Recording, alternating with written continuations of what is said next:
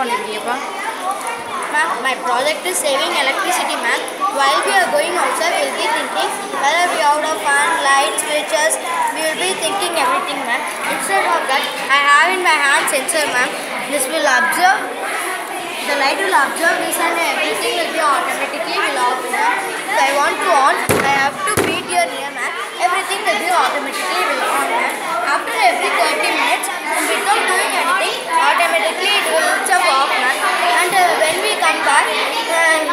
beat that again, ma'am.